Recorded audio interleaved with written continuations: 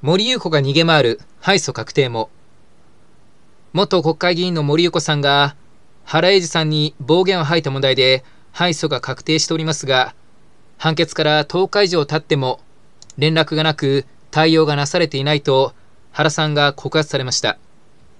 こちらこのまま対応がなされない場合威力の行使が認められている執行官の出番となる可能性もございますが原さんには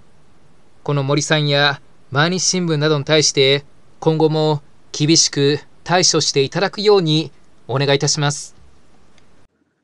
以上になります。ご清聴いただきありがとうございました。